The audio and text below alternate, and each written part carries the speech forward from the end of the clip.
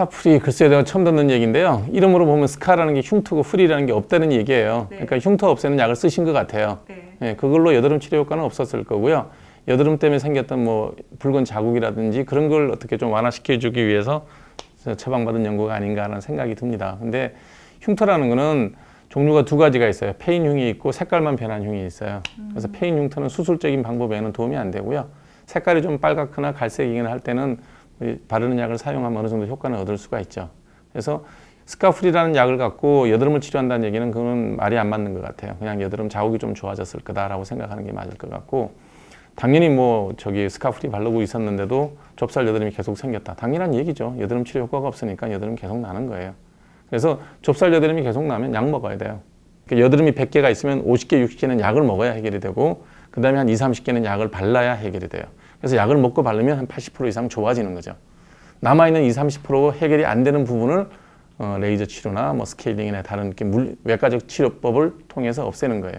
고로 여드름을 치료하는데 약을 먹거나 바르지 않았다는 얘기는 달리기 하는데 양손 양발 묶고 뛰는 거랑 똑같은 거예요. 그래서 여드름 치료에서 먹는 약을 나는 시, 절대 안 쓰겠다. 그러면 50점은 까고 시작하는 거예요. 음. 그래서 약을 드셔야 돼요. 흰색급 좁쌀 여드름이 났을 때 스카프리는 여드름 치료제는 아닐 거고요. 그 다음에 이제 여드름 치료제에 사용하는 바르는 약들은 종류가 크게 두 가지예요. 하나가 뭐냐면 피지를 제거해서 어, 기름을 말리는 방법이 있고 하나는 여드름균을 죽여서 모공을 좀 더 원활하게 잘 빠져나오게 모공을 넓혀주는 그런 기능을 하는 두 가지 약제가 있어요. 그 두 가지 약제가 분리되어 있는 경우도 있고 혼합되어 있는 경우도 있어요. 그래서 피지를 제거하고 억제하는 약으로는 뭐 디페린이라는 약이 가장 대표적으로 쓰이는 거고요. 스티바라는 연고도 그게 도움이 돼요. 그 다음에 반대로 어, 여드름 균을 죽이거나 모공을 빨리 열어주는 데는 크레오신이라든지 그 다음에 에피디오라든지 뭐 이런 약들이 여러 가지가 있어요. 그래서 소비자 입장에서는 중요한 게 뭐냐면 좋은 의사 찾는 법이에요. 내가 팁을 드리면 피부과를 갔는데 접수하자마자 의사는 안 만나고 실장님 만나라는 데 있죠? 거기만 피하시면 돼요. 의사가 환자를 직접 보고 그 병에 대한 설명을 해주는 사람이면 그 의사가 젊든 나이가 들었든 친절하든 불친절하든 그 사람이 믿을 만한 사람입니다. 예. 그렇게 해서 그분하고 얘기하고 상의해서 자기 몸에 맞는 자기 피부 질환 상태에 맞는 어, 처방을 받고 치료를 받는 게 좋죠.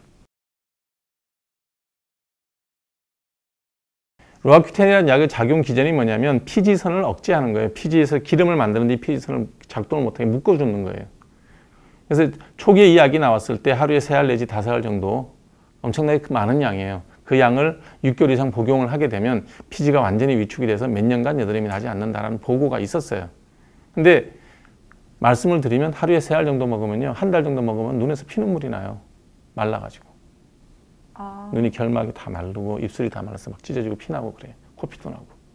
그러니까 그 많은 고용량을 먹고 버틸 수 있는 사람이 별로 없어요. 그래서 로아큐텐이라는 약이 거의 사장되다시피 했던 거예요.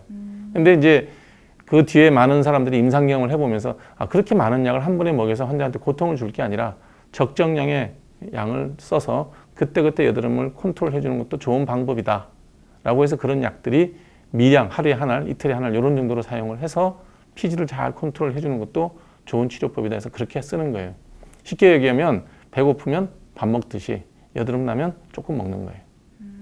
그래서 일정량을 많이 먹었다고 해서 영구적으로 여드름이 안 난다. 그건 아니라는 거죠.